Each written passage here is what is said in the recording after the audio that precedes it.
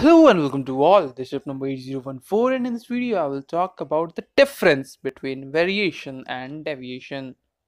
So variation is the angle between the true and the magnetic meridian whereas deviation is the angle which the compass needle makes with the magnetic meridian.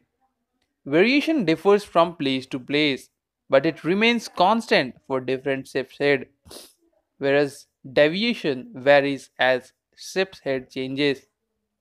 The value of variation can be found by looking at the compass rose on your chart, whereas the value of deviation for different ship's head can be obtained by a table which is called deviation card.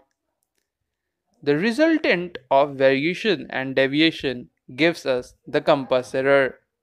So this much is important from this topic and hope you have liked it. Thank you.